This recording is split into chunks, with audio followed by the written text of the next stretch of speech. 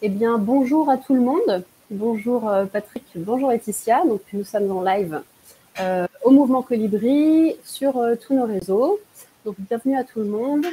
je vais rapidement présenter les gens qui sont là et pourquoi nous sommes là. Donc, on est en train donc, de lancer une, une conférence sur notre nouvelle campagne Nouvelle Ère, nouvelle campagne de mobilisation au sein du Mouvement Colibri. On a la chance d'avoir Patrick Vivré, euh, qui est avec nous ce soir, ma collègue Laetitia, qui est en direct de Paris, et vous avez euh, derrière, en backup, euh, Jérémy et Floriane et Adélie, qui sont là pour nous aider sur la technique. donc, ce webinaire, cette webconférence va durer une heure. On est ensemble jusqu'à 20 heures. et on va vous présenter les grandes lignes de cette campagne Nouvelle Ère, donc nouvelle campagne du mouvement Colibri. Et on aura un temps de questions-réponses à la fin, environ un quart d'heure, donc vers 19h45 pour que euh, toutes les personnes qui le souhaitent euh, euh, puissent déposer des questions. Donc pour ça, il suffit de parler dans les chats qui sont mis à disposition. On prendra quelques questions et on pourra les poser. Donc Patrick, merci d'être avec nous. Bonjour à tout le monde. Tu es donc, comme tu aimes te présenter, philosophe militant et essayiste altermondialiste. Donc, on discutait de ce terme juste avant nous et tu nous diras pourquoi tu peut-être tu en choisis un autre. Donc je vais te laisser justement te, présenter euh, rapidement pour euh, celles et ceux qui ne te connaîtraient pas. Oui, euh, bonjour à toutes et à tous.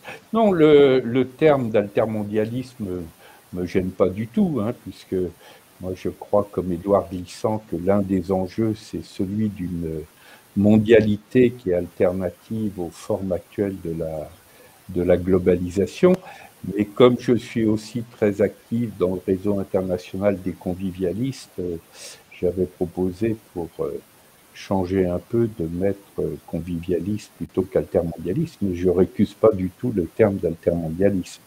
Et sinon, souvent je me définis comme passeur-cueilleur, non seulement parce que je préfère ça à l'alternative au chasseur-cueilleur, mais aussi parce que toute ma vie, j'ai été conduit à établir des passerelles entre des univers qui étaient souvent euh, cloisonnés, voire opposés, que ce soit entre les disciplines, quand j'étais rédacteur en chef euh, de la revue transversale sciences-culture, entre sciences humaines et sciences euh, dites dures, entre citoyenneté et institutions, quand j'ai fait une mission sur une autre approche de la richesse entre des approches telles que la comptabilité, les indicateurs de richesse, la fiscalité, euh, la monnaie, et puis euh, des enjeux démocratiques. Voilà, donc euh, je, je, suis souvent à la confluence de plusieurs réseaux et de, plusieurs milieux. Euh, très bien, merci. Euh, du coup, puisque tu parles justement de confluence de plusieurs milieux et de passerelles, est-ce que tu peux nous raconter ton lien avec euh, le mouvement Colibri? Parce que tu es un, proche du mouvement. Est-ce que tu peux nous dire aussi rapidement comment tu as connu l'association? Il semble que tu as connu Pierre, même très bien, et plusieurs autres personnes de l'asso. Voilà, nous retracer un peu l'histoire aussi. Oui, ben, l'histoire, elle remonte à loin. Elle remonte d'une part à l'époque de Transversal Sciences Culture, parce que Jacques Robin, qui en était le, fondateur, euh, connaissait bien Pierre, et puis d'autre part, j'étais très ami avec Henriane de, de Chaponnet, qui elle-même était une amie de Pierre, et c'est d'ailleurs Henriane qui a raconté à Pierre euh, la fameuse histoire du colibri, qu'on appelait plutôt Béjaflore, l'oiseau-mouche, puisque c'est une histoire qui vient de la tradition euh, amérindienne. Et ensuite, j'ai eu l'occasion de retrouver Pierre à plusieurs reprises, en lien d'ailleurs avec euh, Edgar Morin. Et j'ai cheminé euh, dans plusieurs initiatives. Et nous nous sommes retrouvés ensemble à Cluny, euh, comme étant tous les deux parrains de ce qui s'appelle toujours le collectif de, de la transition citoyenne. Et j'ai eu plusieurs occasions de participer à des débats avec lui, y compris d'ailleurs aux, Amanins et puis à, Paris euh, au, moment du lancement d'une des autres grandes campagnes de Colibri de l'époque. Puis j'ai aussi bien connu Cyril Dion. Très bien. Peut-être que tu parles de la grande campagne Révolution sur laquelle on, va revenir juste derrière, puisqu'il y a un lien très fort entre Révolution et la campagne d'aujourd'hui. Euh, du coup, je vous propose qu'on commence un peu à rentrer dans, le vif du sujet. Euh, donc, on est en 2022, en septembre. Euh, cela fait quelques années qu'on n'avait pas lancé de campagne au mouvement Colibri. On va un petit peu revenir dessus. Donc là, on lance cette nouvelle campagne, Nouvelle Ère, qui se propose d'aller plus loin que, que, la campagne Révolution qui a été menée entre 2013 et 2015.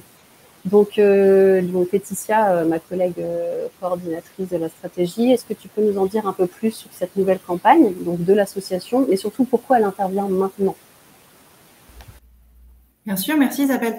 Bonsoir à toutes et tous.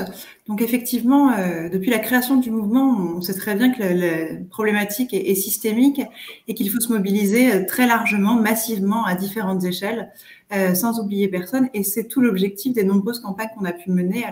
Patrick parlait d'une campagne, peut-être de plusieurs. Euh, il y a eu la campagne Tous candidats, Transformons nos territoires, la campagne Révolution des colibris ou encore le Chant des colibris. Et euh, ces différentes campagnes, elles ont justement mobilisé très largement des citoyens, des citoyennes. Et euh, c'était plutôt des, campagnes de, de, sensibilisation, de mobilisation, ce qui va être une des différences avec la campagne qu'on lance aujourd'hui. Et elles ont aussi donné naissance à, plein d'initiatives partout sur les territoires, à la création aussi de collectifs. Certains sont devenus des groupes locaux colibri, d'autres, groupes locaux, partout sur les territoires. Et depuis quelques années, on n'avait pas lancé de campagne.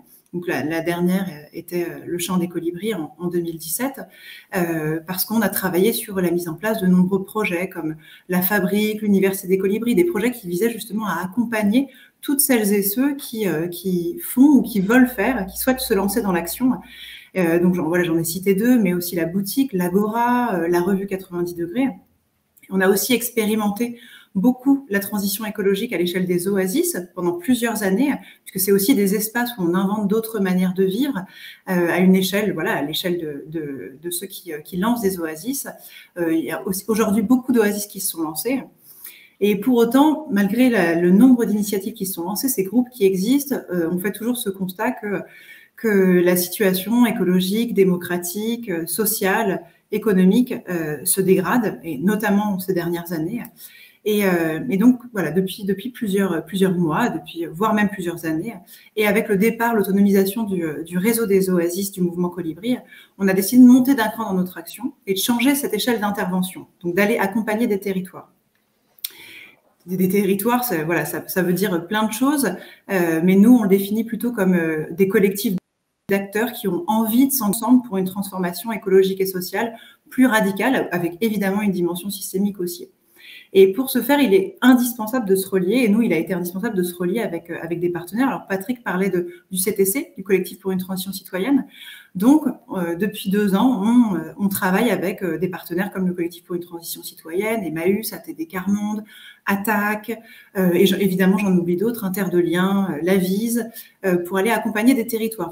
on, a sélectionné quelques-uns euh, et, on expérimente avec eux euh, le fait de penser un projet de transformation, de transition écologique euh, à, leur échelle, avec un enjeu central qui est évidemment de permettre à tous les acteurs locaux de travailler ensemble, main dans la main, de repenser la coopération à l'échelle locale au service de cette transformation à laquelle ils aspirent. Euh, et, aujourd'hui, on a envie de généraliser cette dynamique parce qu'on se rend compte que oui, c'est possible en fait. Quand, quand, on fait autrement, quand on a envie de faire ensemble, euh, c'est tout à fait possible de mener cette transition écologique et démontrer que, d'autres modes de vie sont, envisageables. Et, euh, et cette généralisation, pardon, on se la faire à travers cette campagne, cette campagne Nouvelle Ère, qui s'inscrit dans la continuité de la campagne Révolution dont vous avez tous les deux parlé. Euh, donc poursuivre ces révolutions qu'on a appelées des, voilà, des révolutions locales, écologiques, démocratiques et solidaires. Oui, on parle même souvent de révolutions silencieuses parce que ce ne sont pas des révolutions, comme on pourrait dire, coup de poing. Elles font pas forcément de bruit. Ce qui s'est passé ces 15 dernières années dans l'association, ça ne fait pas forcément de bruit, ça fait pas la une. Pour autant, c'est un réseau très dense qui s'est constitué quand même de très nombreuses initiatives nous-mêmes, le travail qu'on opère sur les territoires depuis maintenant quasiment deux ans, c'est un, travail en silence, mais c'est un, travail de temps long, parce qu'il s'agit de mettre autour d'une table, euh, et c'est presque ça, hein, vraiment, de, différents types d'acteurs sur les territoires. Moi, Patrick, j'avais envie de te poser la question, parce que de ce que personnellement je peux constater aujourd'hui, on sent qu'il y a une montée des tensions, on, sent, on a quand même passé un été particulièrement compliqué sur la question du climat, euh, il y a eu... Euh, quelques sujets d'actualité cette rentrée où on sent aussi qu'il peut y avoir des tensions au niveau politique avec les associations qui sont militantes. On a l'impression que la société est un peu en train de se fracturer parce qu'il y a comme s'il y avait un ancien monde et un nouveau monde, comme des fois on peut dire. Et nous, chez Colibri, on a plutôt cette habitude de la co-construction du temps long, euh, plutôt que de l'action tout point. Et des fois, on se demande si ça peut s'inscrire dans, dans aujourd'hui les dynamiques qu'on voit à l'œuvre euh, dans notre pays. Donc, tu l'écrivais dans, dans, un de tes livres, Pourquoi ça ne va pas plus mal. Euh, Est-ce que toi, tu penses que le fait de faire ensemble, euh, c'est le seul moyen d'éviter ce que tu appelles une sortie de route? Ben, C'est sûr que pour reprendre une expression euh, commune avec euh, Edgar Morin, nous, nous, sommes dans une espèce qui n'est pas véritablement Homo sapiens sapiens. Hein. On serait plutôt, comme le dit Edgar, à l'origine Homo sapiens des minces. Et, et tout l'enjeu, c'est de devenir pour de bon des sapiens sapiens. Le premier sapiens, c'est-à-dire celui de l'intelligence, mais à condition que ce soit une intelligence créatrice et coopérative, parce qu'une intelligence euh, destructrice et qui rentre euh, en, conflit violent avec d'autres intelligences, ben ça s'appelle la guerre. Et là, on voit bien ce que, ce que ça donne et que c'est vraiment pas une solution aux problèmes écologiques, sociaux et démocratiques. Et puis l'autre sapiens, c'est le sapiens de la sagesse, mais la sagesse entendu non pas comme une sagesse triste et ascétique, mais euh, une sagesse savoureuse. Hein. Je rappelle souvent que l'origine du mot euh, sapiens, sagesse, c'est sapérer, et sapérer, c'est la dégustation, c'est la saveur. Donc la sagesse, c'est celle du, du bien vivre. Et c'est la raison pour laquelle je crois que plus nous sommes dans des périodes difficiles, dans des périodes sombres, et nous sommes aujourd'hui rentrés dans une période sombre, et plus il est nécessaire de mobiliser cette capacité de coopération et ce rapport entre l'intelligence créatrice et puis la, sagesse, ce que avec euh, Pierre nous, nous appelions aussi euh, sobriété heureuse en insistant sur le fait que euh, la sobriété ne peut véritablement réussir que si elle s'accompagne d'un art de vivre aussi bien sur le plan personnel que collectif.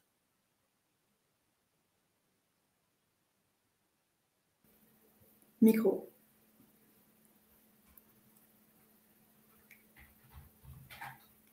Isabelle, tu n'as pas ton micro. C'est bon, si, de mon côté, c'est OK. Euh, Jérém qui s'amuse derrière des fois à le, à le, couper, à me le remettre. Jérém, t'inquiète, je vais penser à le mettre. Euh, sobriété heureuse dont tu parles, nous, effectivement, aujourd'hui, on entend c'est sur les, les, lèvres de tout le monde. Nous, Pierre, surtout, euh, effectivement, évoquait la sobriété heureuse comme vraiment un changement d'état, de, de, de, de savoir-être, qui n'était pas juste une question de réduction, mais ça, on en parlera un, un petit peu plus tard. Euh, tu évoques pas mal Edgar Morin. J'en je, profite pour faire une petite parenthèse. Il devait être avec nous ce soir. Euh, il aurait dû être présent avec nous et il, euh, il s'excuse malheureusement pour des questions personnelles. Il a dû annuler sa présence.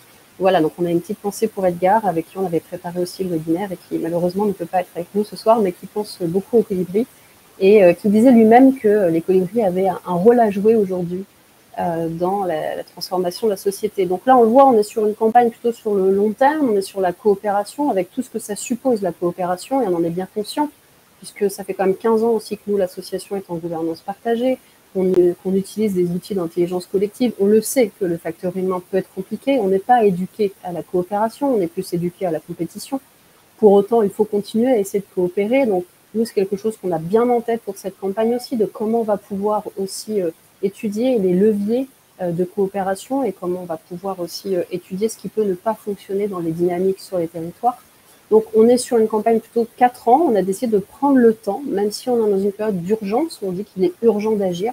On pense aussi qu'il est urgent d'agir, mais qu'il faut le faire sur des démarches, encore une fois, de long terme. Donc contrairement à des campagnes qui ont duré 3 mois, 6 mois, et celle de Révolution qui avait duré plutôt 2 ans, là on a fait le choix de partir sur 4 ans parce qu'on pense que justement aujourd'hui c'est le moment de prendre le temps de lancer des dynamiques sur les territoires. Donc il y a celles qui vont se lancer via la campagne du mouvement Colibri, et il y a toutes celles qui vont se lancer aussi parce que ça va faire tache d'huile, parce que ça va montrer l'exemple et parce que ça va donner envie. du coup, Laetitia, est-ce que tu peux nous en dire un peu plus sur justement pourquoi est-ce qu'on a fait ce choix d'une campagne de plus long terme, donc jusqu'en 2026 oui, bah effectivement, tu, le disais, Isabelle et, Patrick aussi.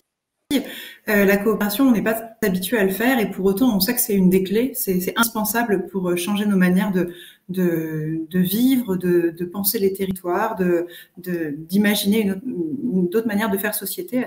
Et, euh, donc, on, est bien conscient que pour expérimenter, pour comprendre nos, erreurs, nos difficultés, inventer d'autres choses, euh, appuyer sur des leviers, changer de culture en fait, changer vraiment la, culture qu'on peut avoir de la gouvernance, de la démocratie, du faire ensemble. Euh, bah, ça va prendre du temps et ce temps-là, on est, on prêt à le prendre, même si quatre ans en fait c'est assez rapide. Hein. Euh, pour, une campagne et pour les chantiers et les objectifs qu'on se fixe. Parce qu'on voilà, faire basculer des territoires, on va pas se mentir, ça se fait pas en claquant des doigts. Et, bien sûr, il y a la notion de coopération, mais il y a aussi toutes les autres choses. Connaître le territoire qui est indispensable, faire venir des acteurs, des experts, faire participer des gens qui n'ont pas l'habitude de participer. Donc tout ça, ça prend du temps et, on, est prêt à le prendre. Et, et, cette campagne, elle est divisée en trois phases qui nous semblent indispensables et qui sont clairement interdépendantes. Une première phase de consultation qui démarre aujourd'hui, puisque le site est ouvert à partir du moment où le webinaire était lancé. Euh, donc, vous allez pouvoir le découvrir dans, quelques minutes euh, pour identifier collectivement des priorités d'action. Et c'est important pour nous, ça définit vraiment, enfin, c'est dans l'ADN du mouvement Colibri que de ne pas faire dans son coin ou de ne pas se penser expert d'un sujet, mais de faire avec tous et tous, c'est pas que des experts des sujets, euh, c'est bien tous citoyens, citoyennes, élus, professionnels, entreprises, organisations, associations. Euh, tous, on a un usage, on a une connaissance, on a un quotidien. Et, euh, et, cette consultation, elle vise vraiment à identifier les axes prioritaires tous ensemble. Ensuite, il y a un deuxième temps d'expérimentation euh, voilà, je reviendrai plus en détail après dessus, mais où on va expérimenter ce dont on parle, cette bascule sur les territoires, ces défis de territoire. Et enfin, un temps, alors qui va démarrer dès les expérimentations, mais un temps pour raconter, pour mettre en récit tout ce qu'on a vécu pendant ces défis, pendant ces expérimentations, qui est un temps très très important parce que bien sûr que ces défis, ces expérimentations, on ne va pas en mener 3000, euh, mais pour faire ce que, tu appelais, Isa, tâche d'huile, pour donner envie, ben justement, cette mise en récit, elle est indispensable pour que d'autres se lancent, peut-être pas au même rythme, peut-être pas au même moment, mais, euh, mais qui puissent s'inspirer de ce qu'on va pouvoir lancer euh, avec évidemment plein de partenaires sur les territoires. Et, euh, ces, trois phases, on va bien sûr pas les faire, pas, pas les mener seuls, avec nos groupes locaux, avec des bénévoles, avec tous les partenaires qui, seront volontaires et qui auront envie de, s'engager avec nous, mais nous aussi avec eux, puisqu'en fait, on, se mettra en lien avec des partenaires qui ont déjà lancé des expérimentations pour peut-être amplifier certaines des expériences qu'ils ont pu mener.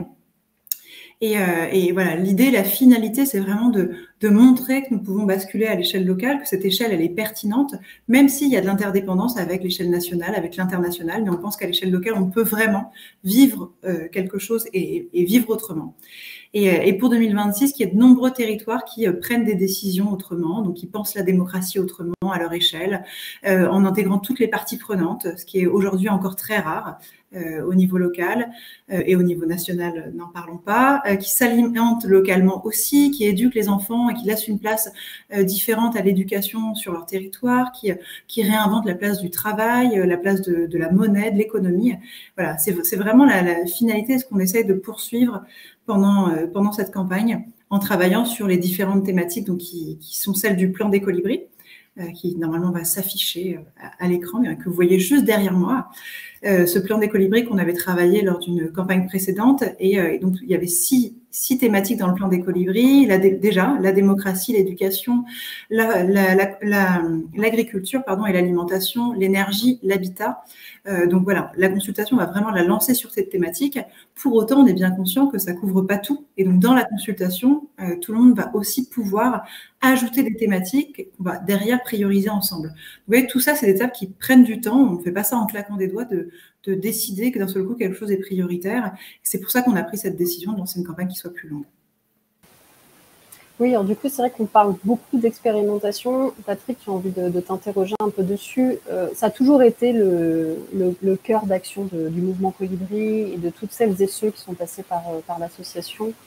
Euh, c'est de montrer que c'est possible. Parce que parler, c'est bien, avoir des grandes théories, c'est très bien, mais si vraiment on veut, comme on peut dire, faire système, devenir majoritaire, pour embarquer les gens, il faut qu'on sorte de cette étiquette d'utopiste. Alors, être utopique, c'est très bien, mais du coup, dans l'imaginaire, c'est plutôt considéré comme quelque chose qui ne peut jamais advenir. Alors qu'en fait, on le sait depuis 15 ans, avec le nombre d'expérimentations qu'on a pu passer, on sait que c'est possible. Donc c'est là où nous, on va aussi monter d'un cran dans euh, le fait de visibiliser tout ce qui va se passer sur les territoires.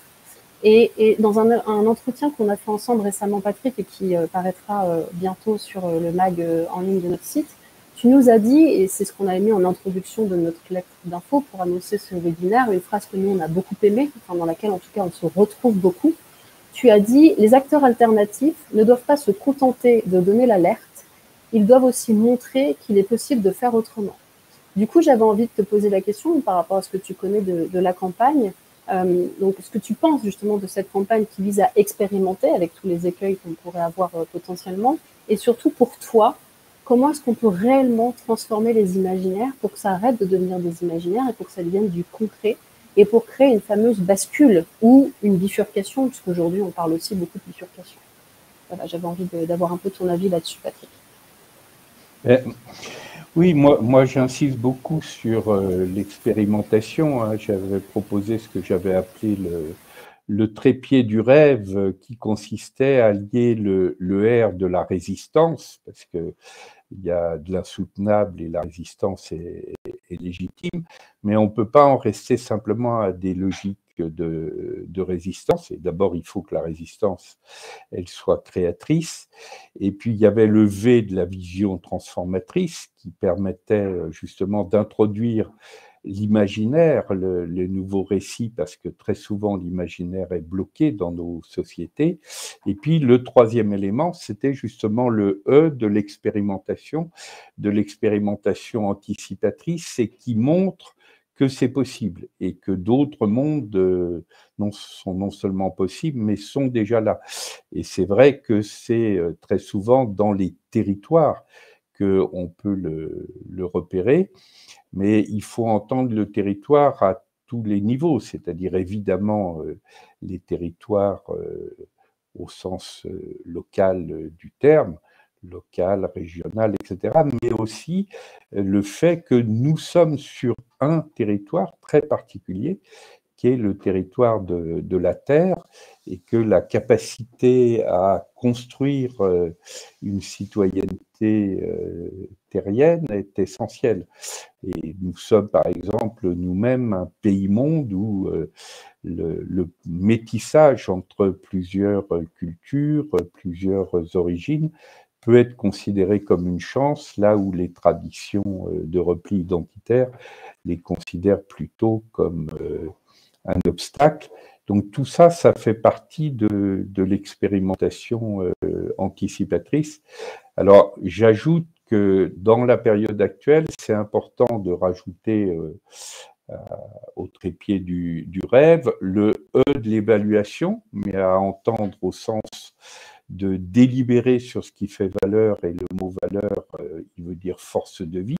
J'avais eu l'occasion de faire une mission interministérielle sur l'évaluation des politiques publiques et j'avais proposé d'entendre la question de l'évaluation au sens de qu'est-ce qui fait valeur comme force de vie, inversement, qu'est-ce qui fait destruction de, de valeur, et puis euh, de rajouter aussi le R de la résilience, de la résilience refondatrice, parce que précisément comme dans bien des situations, euh, les collectifs humains n'ont pas fait ce qu'il fallait faire pour euh, prévenir un certain nombre de risques majeurs, ben, il faut aussi être prêt à faire repartir la vie, même après des situations catastrophiques telles qu'on peut voir euh, celles liées au dérèglement euh, climatique, les méga-feux, les phénomènes extrêmes, les inondations, mais aussi l'autre dérèglement euh, climatique, celui qu'avec Cyril Dion et d'autres amis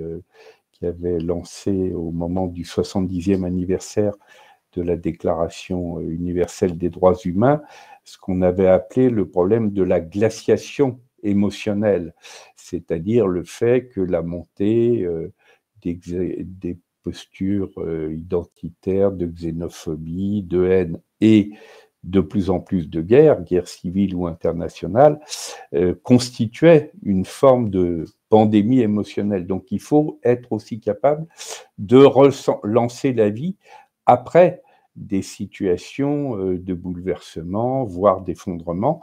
Et ça, c'est toute la question de ce qu'on peut appeler la résilience refondatrice. Et donc, si on rassemble euh, les trois premières lettres du rêve et qu'on y ajoute le e, e, et le R, eh bien, on est bien dans une approche du rêvé qui renvoie euh, par ailleurs à toute la logique euh, d'un imaginaire créateur d'un imaginaire créateur, du rêve et de la joie aussi, euh, qui était euh, quelque chose qui était très important pour Pierre et qui est aussi euh, quelque chose de fondamental au mouvement colibri, la joie. D'ailleurs, on dit souvent agir, oui, mais dans la joie.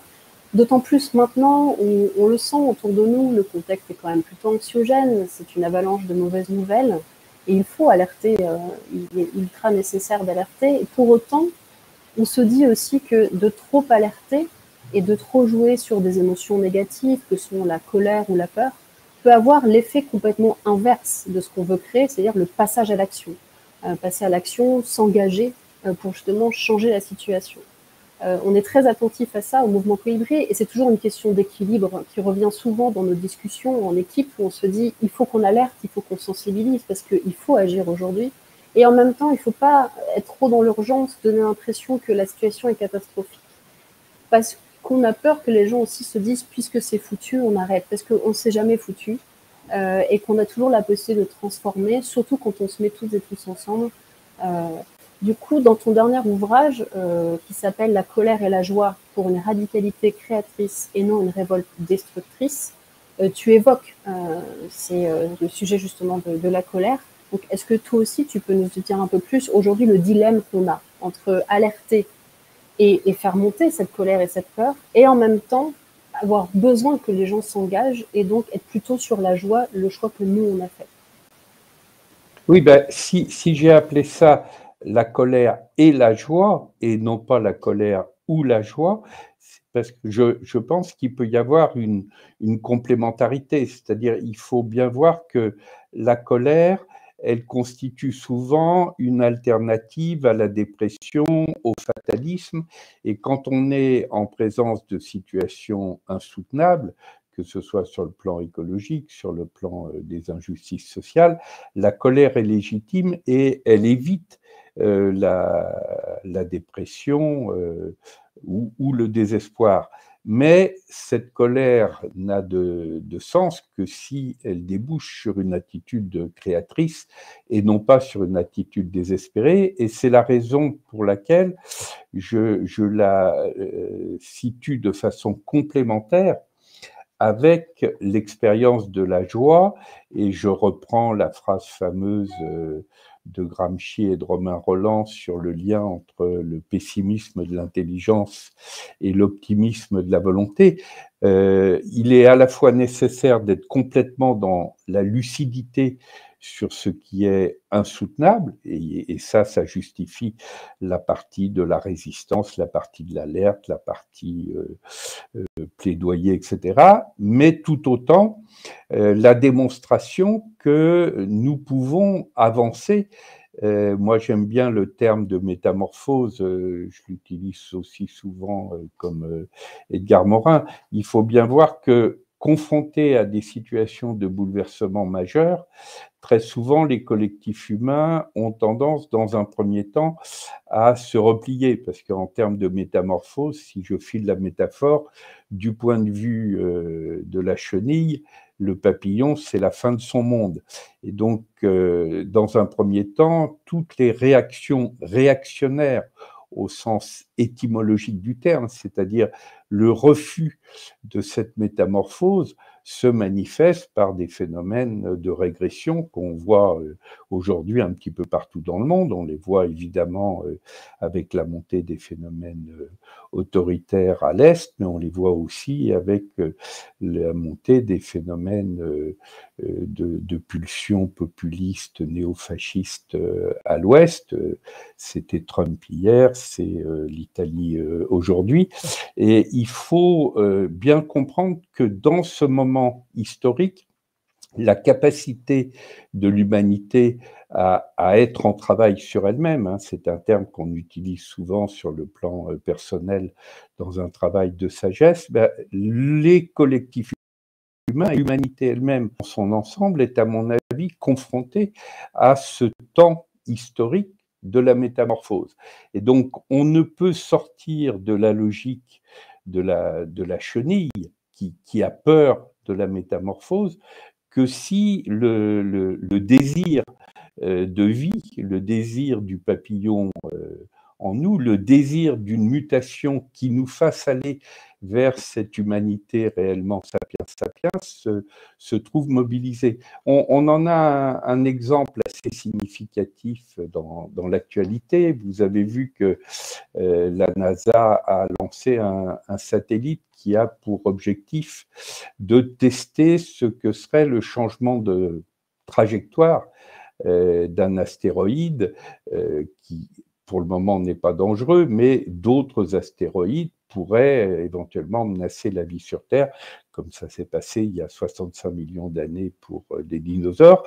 Ben, on a d'un côté euh, cette intelligence collective et créatrice qui est mobilisée pour euh, faire changer un astéroïde de trajectoire. Et de l'autre côté, on a le chantage nucléaire lié à la guerre euh, en Ukraine. Et on voit bien à travers cet exemple que ce qui menace principalement l'humanité, ce n'est pas une menace extérieure. L'humanité n'est pas menacée par des barbares ou par des ennemis extraterrestres. Elle est menacée pour l'essentiel par sa propre barbarie intérieure. Et donc tout le, mouvement que nous avons à faire, et ça vaut à l'échelle des territoires, ça vaut à l'échelle de l'intime de nos vies, et ça vaut aussi à l'échelle planétaire, c'est justement d'aller vers une humanité plus humaine, parce que régresser vers une humanité inhumaine, là, on est sûr que ça cumule les euh, enjeux et les régressions euh, qui nous viennent euh, des, risques écologiques avec les enjeux de régression sociale et de régression démocratique. Donc tout ce travail de, métamorphose, c'est aussi un, travail qui euh, ne peut pas s'exprimer de façon binaire soit par euh, euh, une espèce de logique catastrophiste, effondriste, où euh, tout est foutu, mais c'est pas non plus la logique du, nouveau grand soir et de la, baguette magique. Dans ce, ce travail sur soi-même, que ce soit celui d'un individu, de petits collectifs humains, euh, d'un pays comme, euh, comme la France, l'Europe, mais euh, c'est la même chose à l'échelle planétaire. Il y a cette espèce d'affrontement aux matériaux humains dans ce qu'il a à la fois de passionnant et difficile. Hein. C'est un autre thème qu'on avait initié dans les dialogues en humanité que Pierre avait aussi repris souvent.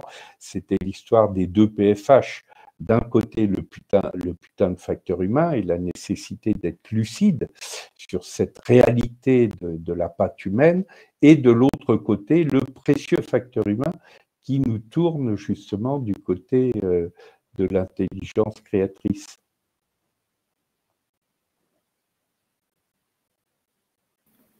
Merci beaucoup Patrick. Euh, Effectivement, enfin moi j'ai quand même envie de rebondir et de te poser une question parce que euh, on a bien conscience que la menace elle vient principalement de, l'intérieur. Euh, cette, euh, cette itération, ces allers-retours entre une transformation plus individuelle et la nécessité de d'y aller en, collectif, en tout cas d'agir dans une dimension systémique. On en a bien conscience aussi. Et, et, les différentes problématiques économiques, écologiques, de, tu parlais de justice sociale, voilà, toutes celles-ci, ça fait aussi de nombreuses années qu'on en a conscience. Et nous, on a quand même difficulté qui est que dans nos, bénévoles, dans nos groupes locaux, on a des gens qui, euh, vivent une certaine lassitude, voire euh, un peu en fatalisme. Euh, est-ce que les choses changeront vraiment ou est-ce que ça ne changera jamais? Et, ben, voilà, toi, qu'est-ce que tu en penses? C'est-à-dire qu'à l'échelle d'un mouvement comme le nôtre, mais ça concerne aussi plein d'autres associations et mouvements, hein, comment, comment on garde espoir dans le fait que l'action au quotidien, elle contribue effectivement à, bah, aller vers euh, une humanité plus humaine, comme tu le disais. Si on prend un exemple qui est, très actuel, qui est, celui euh, du droit des femmes, euh, qui est, à mon avis, l'une des, batailles mondiales les, les, plus centrales, justement, sur la question euh, des droits humains, je préfère évidemment le terme de droits humains à celui de droits euh, de l'homme, compte tenu de l'ambiguïté du, terme homme, mais si on prend cet enjeu qui est très actuel, on, le voit en Iran, on le voit aux États-Unis euh, avec la lutte contre les, régressions introduites dans un certain nombre d'États américains à la suite de, cette formidable régression de la Cour suprême américaine sur euh, les droits à l'avortement. Partout, on, voit cet enjeu-là.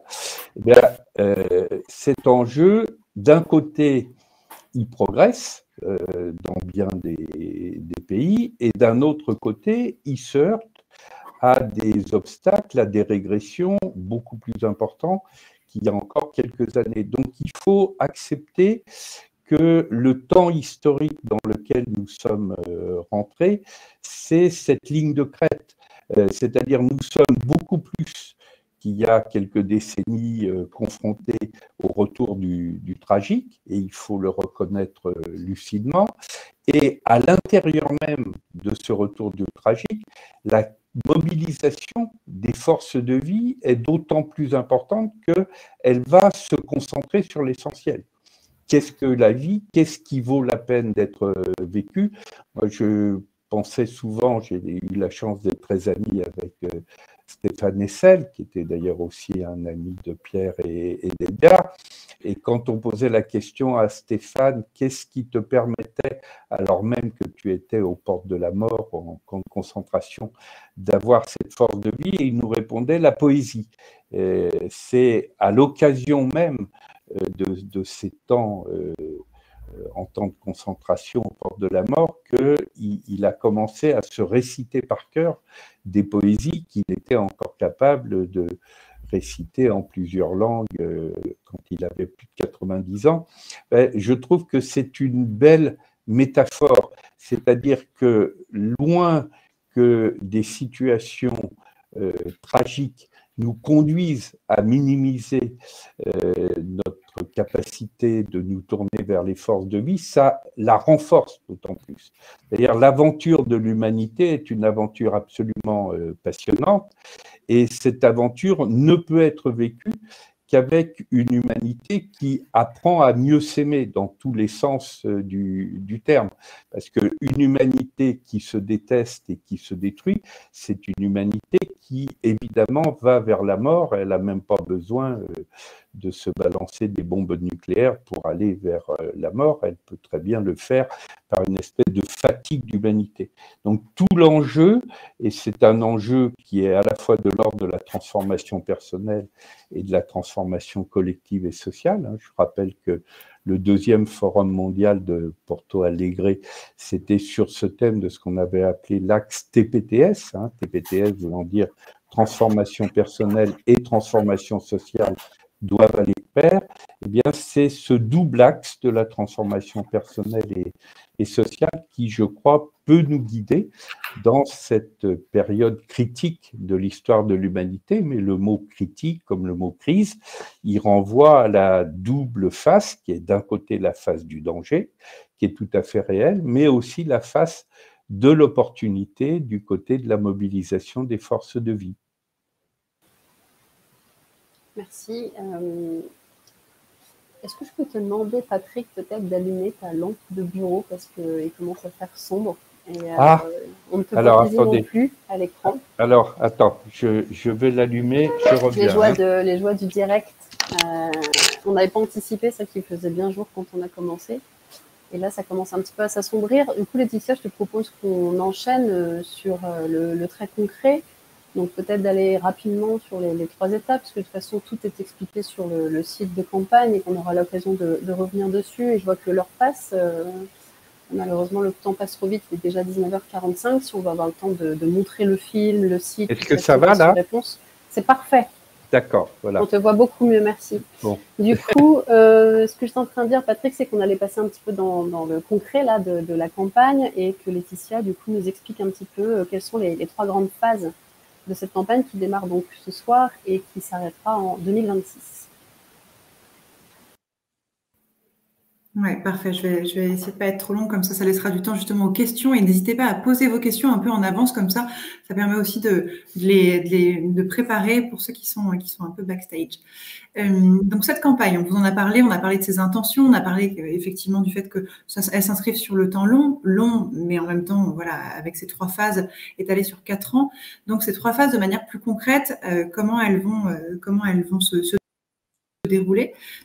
De consultation qui démarre aujourd'hui, euh, du plan des euh, mais de, vos réalités, de vos vies, comme je disais, on propose d'identifier les priorités sur lesquelles on va, on va travailler, sur lesquelles on va se lancer des défis collectivement euh, dans la phase 2. Il n'y a vraiment pas besoin d'être expert de la thématique, pas besoin de, de s'y connaître très bien. Euh, L'important, c'est justement que vous veniez avec votre vision, vos, vos, réalités euh, sur ces différentes thématiques. Les thématiques, je vous, l'ai dit, il y en a six qui aujourd'hui sont proposées, euh, mais vous pouvez tout à fait en proposer d'autres. Donc ça, c'est vraiment la phase de consultation qui euh, se retrouve à travers une consultation en ligne. Donc ça, c'est ce qui va vous être présenté le, site juste après. Il va y avoir aussi des webinaires d'échanges, de débats, discussions sur ces thématiques qui vont être organisées.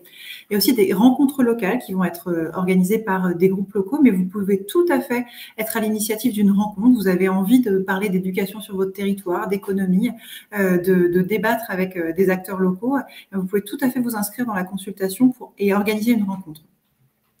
Euh, donc, voilà le, les, premières étapes de la consultation et, on va un peu clôturer cette phase de consultation autour du Festival des Colibris, donc qui aura lieu les 2, 3 et 4 décembre de cette année, donc dans, quelques mois, où justement on reviendra sur tous les éléments rassemblés sur le site, dans les rencontres, dans les webinaires, pour euh, identifier ensemble et prioriser les axes sur lesquels on va travailler. C'est un temps fort, c'est un temps très important sur lequel Isabelle, je pense, reviendra.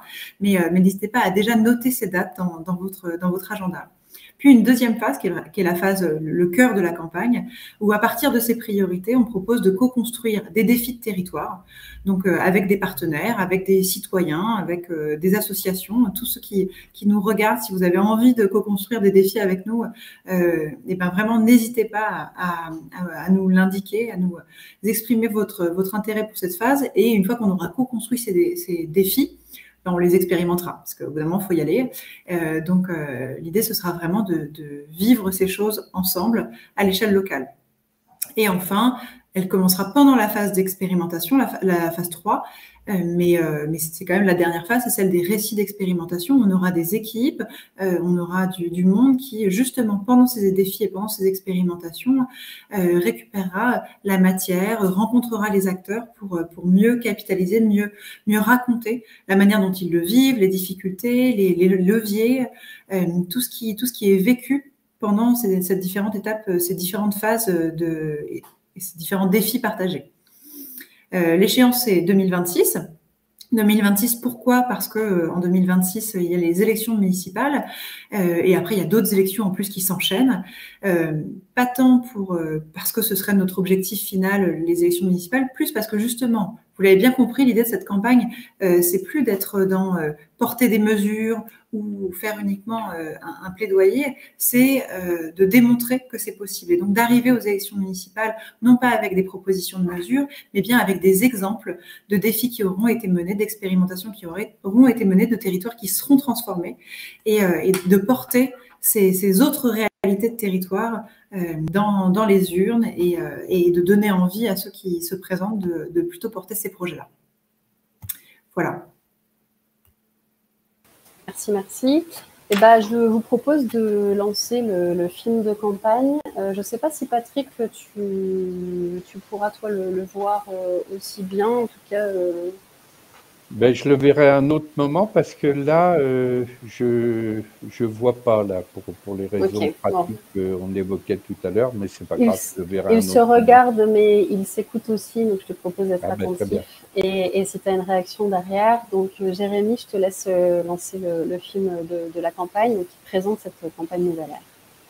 Énergie, habitat, économie, éducation, alimentation, démocratie. Nos actions construisent un nouveau récit collectif comme des révolutions silencieuses.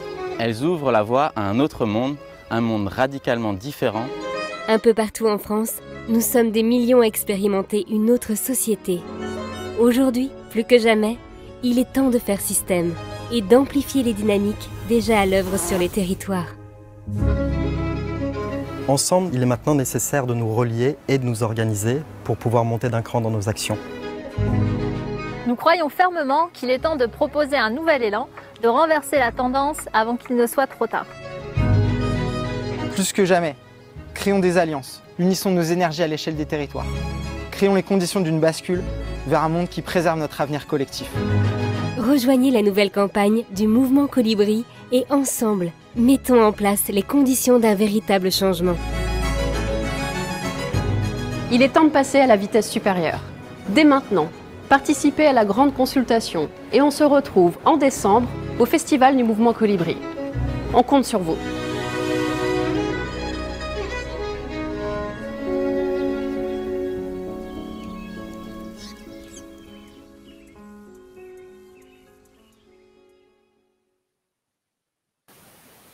Voilà, donc euh, je tiens d'abord à adresser un grand merci aux personnes qui ont participé à ce film. David, Lise, euh, Simon, euh, Émilie, Boris, un autre David. Un grand merci aussi à Xavier qui nous a accompagnés sur ce beau film de campagne. Donc les personnes que vous voyez intervenir sont des personnes réelles euh, qui sont plutôt situées dans le sud de la France. Donc vous les verrez sur le, carton final et qui agissent au quotidien et qui aussi avaient envie de participer à ce film sur cette nouvelle dynamique, sur le message de, de, créer un nouvel élan et de se relier à l'échelle du territoire pour monter en puissance, pour monter dynamique. Voilà, donc un, grand merci à elle et eux. Euh, Patrick, est-ce que tu as un petit retour à nous faire sur, euh, sur ce film Est-ce que tu as entendu? Ah ben, J'ai entendu, je n'ai pas vu, mais j'ai entendu. Donc, euh, je trouve que le, le son est très tonique et j'imagine que l'image doit venir encore renforcer ce caractère tonique du son. On te renverra le lien d'ailleurs, euh, si on peut mettre le, lien dans le, dans le chat du, film, après il sera disponible sur le site de campagne euh, et sur nos plateformes Peertube et, YouTube. Euh, je vous propose qu'on arrive vers la fin, là, juste avant les, questions-réponses, donc juste de, dévoiler ce, ce, nouveau site de campagne. et je tiens à remercier tout particulièrement Flo, notre, euh, notre geek qui a passé beaucoup, beaucoup de, temps, puisque c'est la technologie euh, Wiki, qui est une technologie qu'on utilise et développe chez Colibri. Et euh, j'en profite pour vous dire que sur notre site Colibri le Mouvement, vous avez la possibilité d'accéder à ce genre d'outils. C'est libre et c'est gratuit et c'est maintenu par nos, deux personnes geeks, Jérémy et Flo. Donc voilà ce, ce, site de campagne, campagne Nouvelle Ère, que vous voyez s'afficher à l'écran. Euh, il est euh, donc à l'image de, cette campagne, il est plutôt, euh, joyeux, plutôt, plutôt coloré, puisqu'on avait vraiment envie de mettre toute cette dynamique de, joie dans cette campagne. il présente les différents éléments et, surtout, il met le focus sur les deux axes prioritaires de, cette première phase de, la campagne Nouvelle Ère, c'est-à-dire le festival, vous avez une, page dédiée euh, pour en, savoir un petit peu plus avec déjà un pré-programme. Il est en cours de finalisation, notamment sur les intervenants et intervenantes qui nous le plaisir d'être avec nous. Donc c'est vraiment euh, c'est du vendredi après-midi au dimanche début d'après-midi. Donc on est sur un festival colibri. C'est à nouveau, euh, enfin à la fois des moments de, partage, de fête, puisque en plus je profite pour dire que ce sont les 15 ans de l'association. Euh, dans un lieu où on a l'habitude d'aller au, mouvement Colibri, qui, est à Jeanville, en région parisienne, et en même temps des, instants de travail, travail collectif, en intelligence collective, euh, pour travailler sur cette campagne ensemble, pour co-construire aussi euh, bah, cette année 2023 qui arrive derrière avec les défis de territoire. Il y a des partenaires qui sont présents évidemment. Donc on a vraiment voulu faire un programme mixte avec à la fois des moments de célébration et des, moments de travail. Puis on aura d'autres moments qui viendront ponctuer ce, programme avec des ateliers notamment un atelier sur les outils libres, puisqu'on développe beaucoup d'outils libres chez Colibri, ou aussi de la désobéissance civile. Sinon, sur euh, une autre partie euh, de... Euh, sur en page d'accueil, peut-être montrer rapidement, vous avez le, site de campagne, enfin le, film à disposition. Vous avez aussi un kit de communication. On a toute une campagne d'affichage qu'on va mettre en œuvre. Vous avez la possibilité, en cliquant sur le lien, d'y accéder, de télécharger les affiches et de vous-même les imprimer si vous voulez euh, en coller dans la rue ou dans, des lieux euh, qui vous semblent appropriés, type des ressourceries, des cafés associatifs, euh, voilà, pour, pour nous aider aussi à diffuser massivement. Et donc, en finale, on a la page de la consultation qui est là la, la plus importante pour nous. Et je vais laisser Laetitia vous la présenter sur les modalités de participation à cette consultation. Oui, merci. Euh, donc effectivement, comme je vous le disais, sur la page de consultation, normalement, elle devrait apparaître. Mais, ça peut prendre un petit peu de temps, mais euh, voilà, vous pourrez aller regarder euh, dès, la fin du webinaire, vous pourrez aller regarder. donc cette, page de consultation, vous avez les fameuses six thématiques, l'alimentation, l'éducation, la démocratie, l'économie, il manque toujours à chaque fois, l'énergie et l'habitat. Euh, qui sont proposés pour euh, commencer à, débattre, à, prioriser, à, comprendre si euh, par rapport à ce qui était proposé dans le plan, il y a des choses qui ont changé. Et, donc ça, c'est important. Mais vraiment, ça, n'est pas limité à ça. Et je sais que dans le chat, voilà, il y a, aussi des, questions sur des thématiques qui pourraient être ajoutées ou la question de la biodiversité, du vivant, le lien. il y a des choses, il y a des thématiques qui pour nous paraissaient parfois transversales. Donc vous allez voir dans les questions qu'elles sont présentes à plusieurs endroits évidemment. Euh, pour autant, vous pouvez aussi, donc si vous allez en bas de la page de consultation, ajouter des propositions de thématiques, de sujets ou de manières d'aborder les sujets. On est vraiment dans une phase où on, voilà, on ne fait pas semblant de consulter euh, pour, pour, faire plaisir ou pour faire joli, euh, c'est vraiment une phase importante dans la suite de la campagne. Donc n'hésitez pas à ajouter des thématiques euh, à cet endroit-là. Et si, on rentre, par exemple, si on choisit alimentation et agriculture, vous commencez à remplir, donc chaque thématique est, indépendante, ce qui ne veut pas dire qu'elles ne sont pas interdépendantes sur les territoires. ça, c'est des choses dont on aura, enfin, on aura l'occasion d'en parler pendant les webinaires et évidemment au festival.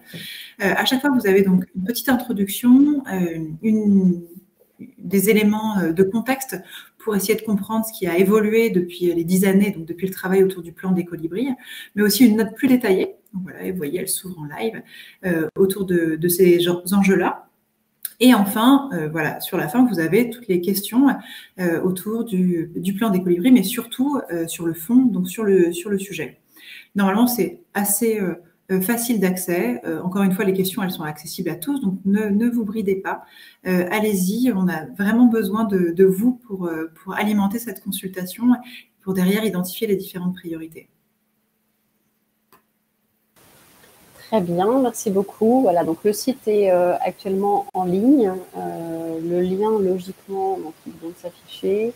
Euh, vous devez l'avoir aussi dans le chat, donc vous pouvez aller le, parcourir euh, juste après ce, webinaire. Donc on va, on va bientôt terminer. Je propose qu'on prenne, parce qu'il est déjà quasiment 20 heures, quelques questions, euh, pour, notamment pour, pour Patrick et Laetitia sur cette nouvelle campagne. Donc il y a une question intéressante sur la peur et la colère qu'on a évoqué un, un, petit peu plus en amont.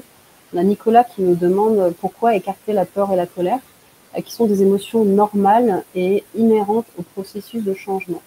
Alors je vais juste commencer un élément de réponse, puis je vais te passer la parole, Patrick, pour que tu nous dises un peu ce que tu en penses. Mais il ne s'agit pas d'écarter la peur et la colère, il s'agit de ne pas trop appuyer dessus, il s'agit de ne pas euh, les exacerber. Euh, puisque on le sait, quand on fait monter un petit peu trop la, peur, la colère, elle est légitime, effectivement, mais je crois que Patrick, c'est toi qui disais qu'il faut qu'elle soit, qu'elle se transforme, qu'elle se, qu'elle crée. Et c'est plutôt ça, nous, qui nous intéresse, de montrer qu'on peut euh, transformer cette colère et créer quelque chose. Et nous, là, du coup, en se reliant à l'échelle des territoires. Est-ce que Patrick, tu souhaites rebondir sur cette question de la peur et la colère, cette question de l'écarter, de les écarter ou pas? J'ai répondu tout à l'heure sur la, la colère. Hein. Moi, je la rejette pas du tout parce que c'est une alternative au désespoir, à la dépression, mais je, la fais servir au service de, de ce que j'appelle une radicalité créatrice plutôt qu'une révolte destructrice. Quant à la, peur, c'est la même chose.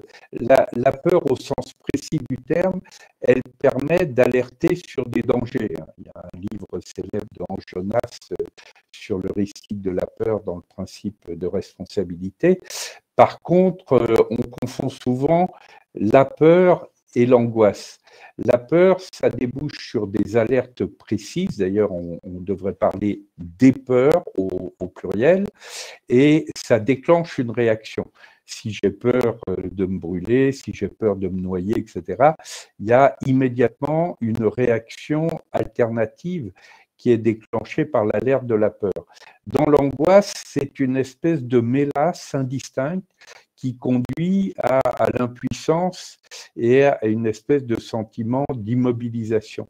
Et c'est ça que, à mon avis, il faut euh, dépasser. Mais utiliser la peur comme alerte pour euh, aller vers euh, des réactions créatrices, ça, c'est pas du tout un problème.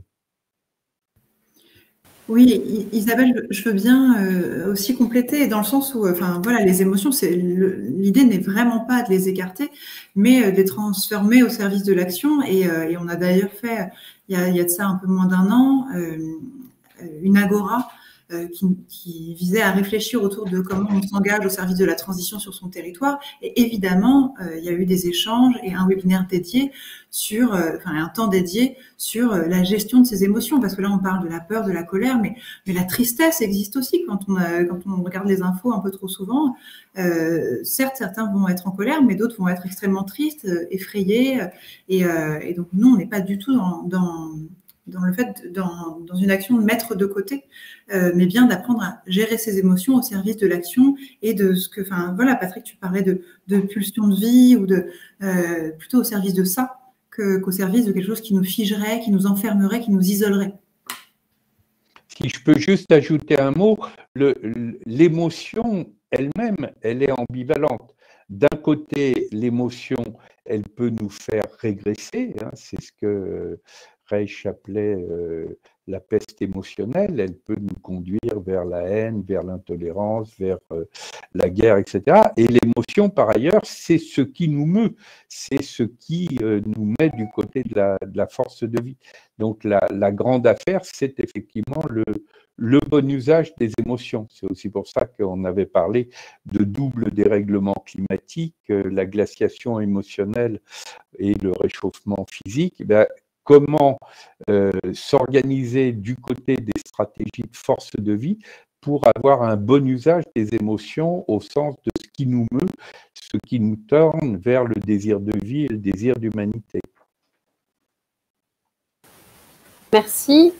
Euh, il y a euh, une question qui revient un petit peu, et c'est logique, c'est sur la notion de territoire. je pense qu'on peut revenir un petit peu dessus quand on parle de, bascule de territoire Laetitia, tu peux nous en dire un peu plus, Patrick aussi, tu avais ton, ta définition de, territoire. Oui, enfin peut-être, enfin je, disais tout à l'heure et, euh, et Patrick, euh, tu, enfin, tu, tu pourras compléter. Euh, nous, aujourd'hui, on ne fiche pas le territoire, on l'enferme pas dans une limite, alors tant de population, tant de kilomètres. Euh, et pour autant, il y en a qui réfléchissent aussi à, à des limites de, de territoire euh, vivables pour un nombre de, de, de personnes. Et c'est, c'est pas inintéressant, mais aujourd'hui, nous, on est vraiment plutôt sur, sur des euh, intervenir sur des, espaces à des échelles où euh, des, collectifs, des individus, des écosystèmes. Euh, ont, pour, pour ce qui est des collectifs, ont un sentiment de, destin commun, de partager quelque chose et d'avoir d'avoir envie de, construire ensemble un projet de transformation et de transition qui est du transition écologique, sociale évidemment, démocratique, qui est qui est du sens pour eux. Et, et pour autant, on peut très bien démarrer sur, euh, par exemple, ce qui serait euh, un village ou une commune, et puis en fait que derrière ça voilà, l'expérimentation euh, euh, grossit, se d'huile et que sur certains sujets, ben, on, passe à une échelle plus grande et on, implique d'autres acteurs. Donc, on n'est pas du tout arrêté sur cette échelle territoriale. Et je rejoins assez Patrick sur, sur euh, le fait que voilà, on, soit même sur un territoire. la, planète, on soit en France, et il y a des incidences en fait de toutes ces échelles les unes sur les autres, mais pour le moment, nous, sur ces expérimentations, voilà, on a décidé de rester à des échelles assez humaines pour que ça ait un, sens pour les gens de s'impliquer euh, dans ces projets et dans ces défis. Ce que, ce que, je peux juste ajouter sur ce plan, alors d'une part, les territoires, c'est typiquement euh, des terrains, c'est le cas de le dire, où les logiques de coopération sont nécessaires.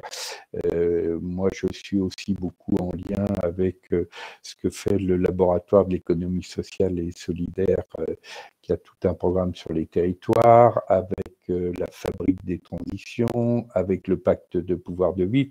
Donc, je pense que toute cette synergie euh, que le, mouvement Colibri euh, est en train d'impulser avec cette campagne va aussi rentrer euh, en résonance avec euh, les autres actions et développer des logiques coopératives.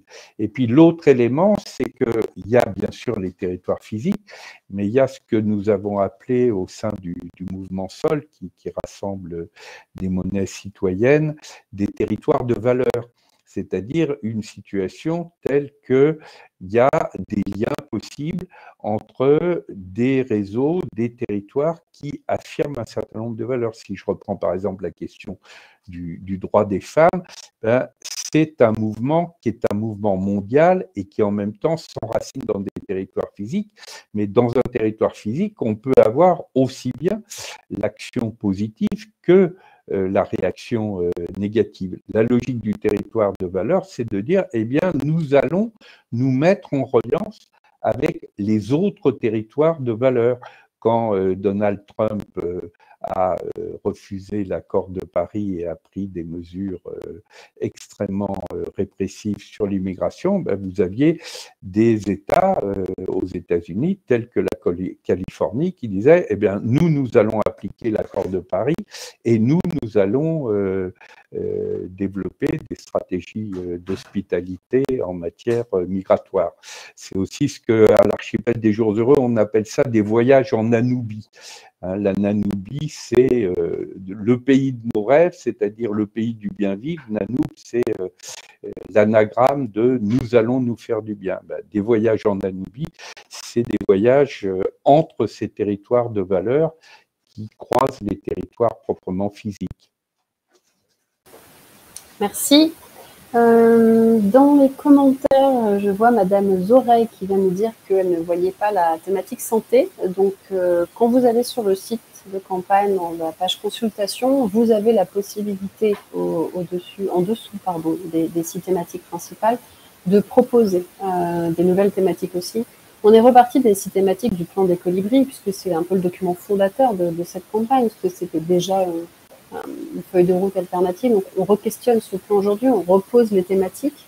Et évidemment, la situation a changé. Euh, donc, allez-y, vous pouvez proposer.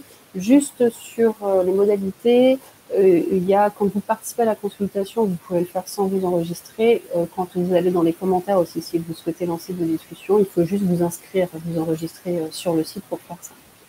On a aussi Valérie qui nous demande euh, si tous les territoires sont concernés par les expérimentations et si ce n'est pas le cas, comment ils sont sélectionnés ou comment ils seront sélectionnés? Est-ce que faire une petite euh, réponse rapide, Laetitia, dessus? Oui, bien sûr. Bah, tous les territoires, au vu de la réponse qu'on a pu faire juste avant avec Patrick, en fait, voilà, c'est infini. Donc, euh, non, bien sûr, tous les territoires ne seront pas sélectionnés.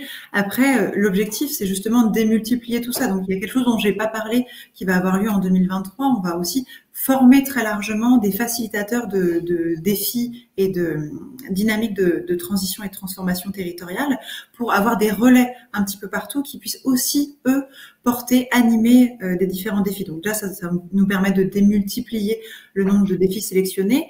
Et ensuite, dans la phase de co-construction des défis, euh, voilà, c'est pas nous tout seuls qui allons décider, euh, bah, on prend ce territoire, on prend pas celui-ci.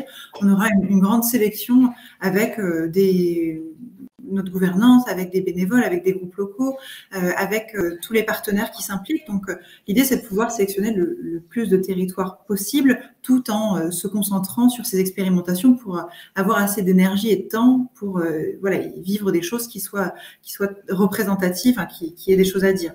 Je voulais aussi rebondir sur euh, euh, Patrick, pardon, tu as parlé de la fabrique des transitions et euh, dire que des, dynamiques et des, expérimentations avec des territoires, il y a plein d'autres acteurs qui en mènent, avec lesquels on est aussi très en lien. Et donc, pendant cette campagne, on va pouvoir, je le disais, venir se relier à, certains, mais aussi les valoriser. Il y a des projets qui sont prévus pour mettre en récit des, des expérimentations qui sont menées par certains de ces acteurs pour qu'elles viennent nourrir toute la phase 3 et que ce ne soit pas juste les expérimentations qu'on a pu nous impulser, mais bien toutes les initiatives qui, peuvent être menées euh, depuis plusieurs années ou qui vont se lancer en parallèle. Euh, et c'est la diversité des approches qui est aussi très intéressante parce que parfois un acteur va être plus sur une dimension, euh, ben, une émergence d'initiatives qui vient des institutions, d'autres avec vraiment quelque chose qui démarre de, citoyens et de citoyennes. et c'est ça qui va être intéressant à raconter. Oui, et en parlant de logique partenariale, on a des commentaires aussi euh, dessus. On a un réseau euh, donc à la frugalité, on développe une cartographie des acteurs locaux sur l'architecture et l'aménagement des territoires, matériaux biosourcés, géosourcés, réemploi, artisans, projets inspirants. Nous aurions plaisir à échanger sur ce sujet. Ben, nous aussi avec euh, grand plaisir, donc n'hésitez pas à prendre contact avec nous. Et puis, j'ai vu passer un autre commentaire d'Utopia, Mouvement Utopia, donc je connais très bien, en, tout cas au sein de l'équipe, je pense que Patrick, tu connais aussi très bien, qui me dit, euh, Karine nous dit qu'en octobre va se tenir l'université d'été du Mouvement Utopia, qui cette année va être orientée sur la convergence avec d'autres mouvements. Donc on sent qu'on est tous dans la même logique. Euh, on a tous compris qu'il fallait absolument converger et se réunir. Très bien, élaborons des alliances effectivement. Le mouvement convivialiste y sera. Ah, donc Patrick, je ne sais pas si tu y seras. Et elle nous demande pourquoi. Ah bah c'est super. Elle nous demande que le mouvement Colibri ne s'associe pas à cette réflexion. Alors, euh, bah, on n'a pas eu le vent, euh, peut-être. En tout cas, moi, là, je n'étais pas au courant. Il y a une telle dynamique, il y a un tel réseau, il y a un tel écosystème. C'est vrai qu'on est déjà pas mal connectés. Après, avec grand plaisir. Mon Patrick est avec nous, c'est un mmh. projet mouvement. On en rediscute. Et, euh, évidemment, en convergeant, on est, on est beaucoup sur cette dynamique-là aussi. On est beaucoup à faire. Et, il faut qu'on soit ensemble. Clairement, euh, il faut qu'on arrête de faire à côté. Il faut vraiment qu'on réunisse toutes les, forces vives et actives. Et puis une dernière petite question peut-être parce qu'il se fait déjà tard, mais moi une question qui me fait un peu sourire parce que parce qu'on va même au-delà de la France. On, on nous dit on parle d'échelle locale, mais quid de l'échelle planétaire? Alors oui, l'échelle euh, de la planète. Euh, quid des liens avec les potentielles initiatives en dehors de la France? Comment les identifier, s'y relier, s'en inspirer ou apprendre de leurs écueils pour euh, renforcer cette nouvelle ère? C'est toi, Patrick, à un moment qui nous parlait justement de cette humanité. Mm-hmm. Est-ce que tu as une proposition pour déjà nous Comment on fait? Parce que déjà la France, là même à l'échelle de territoire, on sait que ça va être difficile c'est des dynamiques qui sont longues et c'est vrai qu'on est aujourd'hui face à un enjeu qui est planétaire. Comment on se relie même à travers tous les continents? Ben, là, là, aussi, il y a des initiatives qui existent et avec lesquelles il est possible de rentrer en synergie. Euh, fin juin, euh, il y a eu le deuxième forum international du, bien vivre, du buen vivir. Euh, quelques jours après, il y avait les rencontres internationales des dialogues euh, en humanité qui ont joué un rôle important aussi dans les forums sociaux mondiaux. Donc on peut tout à fait euh, se relier, s'appuyer, développer euh, le lien entre des initiatives de territoire à l'échelle régionale, nationale, continentale et puis à l'échelle planétaire. Et puis effectivement, je voulais en, dire un mot, mais la rencontre euh, à 7 euh, avec Utopia, les convivialistes, l'archipel de l'écologie et des solidarités, l'archipel des jours heureux, je voulais en parler justement le 6 octobre au collectif de la transition citoyenne, parce que ça peut être une des étapes de cette convergence entre les différents mouvements que l'on est en train d'évoquer. Super. Oui, Isabelle, dire que, enfin, juste sur la question de l'international, enfin, on, est aussi engagé dans les EGPU, donc les États généraux de la Société écologique du post-urbain, où justement il y avait un, projet, euh, notamment au Brésil. Donc voilà, on est déjà en lien avec des dimensions internationales et qu'on aura aussi à cœur dans, dans cette campagne de ne pas oublier l'outre-mer, parce que voilà, quand on parle de la France, il y a souvent une facilité à penser à la France métropolitaine, hexagonale, et il y a aussi beaucoup de choses qui se passent, euh, des, des, collectifs qui ont besoin ou qui ont des choses à, à nous apprendre, et donc on aura cette préoccupation. Parfait. Je, pour terminer et pour terminer cette question, je rappelle que c'est une campagne qui est, qui est, faite pour, euh, pour vous, pour, celles et ceux qui regardent, pour celles et ceux qui ont envie de s'approprier cette campagne, de mettre en place une dynamique. Il y a nous qui lançons une dynamique, qu'est-ce qu'on va pouvoir accompagner? Il y a des outils qu'on met à disposition aussi, et puis aussi ce que vous toutes et tous allez pouvoir faire sur les territoires. La consultation, le site, vous avez un espace pour euh, échanger, euh, sur la page d'accueil, vous avez une carte aussi. Euh, c'est pareil, c'est euh, une carte qu'on a mis en accès libre. Vous pouvez mettre des événements que vous avez envie d'organiser. Il n'y a pas de processus de validation à partir du moment où vous rentrez dans les valeurs de l'association et vous rentrez dans le cadre de la campagne. Les événements seront publiés. Regroupez-vous, reliez-vous, discutez, échangez. Et, et, on reste connectés ensemble. Donc, on va voir avec Patrick aussi pour se connecter à d'autres réseaux. Et voilà, donc le site, il est ouvert. On est nous aussi euh, disponibles euh, pour que vous puissiez vous approprier cette, euh, nouvelle campagne. je vous propose de terminer, donc juste une information. Les deux prochains webinaires pour aller creuser les thématiques avec des, des, personnalités. donc le prochain, c'est l'éducation avec Isabelle Pelou le 3 octobre. Isabelle qu'on connaît très bien puisque c'était aussi une proche de Pierre elle a créé l'école du colibri aux Amanins, tu en parlais euh, Patrick. Euh, on y était au mois de juin, on était avec Isabelle notamment, qui nous expliquait justement euh, toute cette dynamique au niveau de, son école du colibri et comment le faire sa part a infusé toute sa, pédagogie. Donc elle sera là avec nous pour discuter des grands défis au niveau de l'éducation sur le 21e siècle. Donc vous avez la possibilité, donc sur le site de campagne, vous pouvez retrouver dans les événements. Et puis, euh, si ma mémoire est bonne, le 13 octobre, euh, c'est ça, il me semble, nous avons le webinaire sur, Laetitia, aide-moi s'il te plaît. L'alimentation, alimentation. Exactement, sur les territoires nourriciers et sur l'autonomie.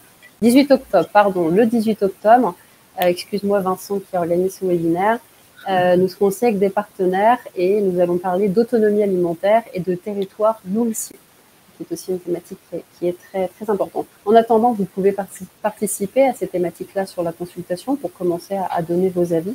Et donc, on creusera à chaque fois les thématiques au fur et à mesure. D'ailleurs, je vois dans le chat rapidement quelqu'un posé la question des expériences réussies en Oasis.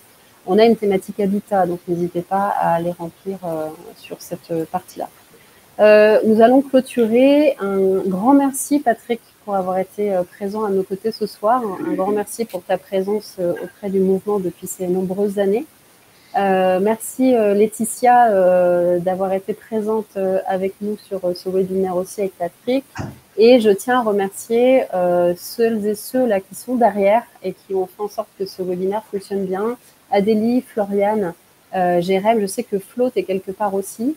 Et bah, toute l'équipe du mouvement Colibri, tous les bénévoles, les groupes locaux, et qui sont aujourd'hui en train de préparer cette campagne, qui sont en train de préparer des événements, euh, qui vont aussi préparer la campagne d'affichage et qui se mobilisent euh, sur cette, euh, donc cette nouvelle ère de mouvement Colibri.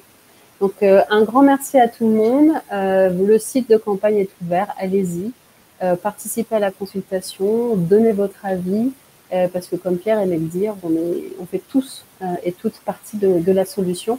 Donc c'est tous et toutes ensemble euh, qu'on arrivera à construire ce nouveau monde qu'on souhaite euh, voir émerger. Voilà, je vais m'arrêter là. Euh, bonne soirée à tout le monde et je vous dis à très vite. Bonsoir à toutes et à tous. Bonne soirée. Au revoir. Merci beaucoup. À bientôt.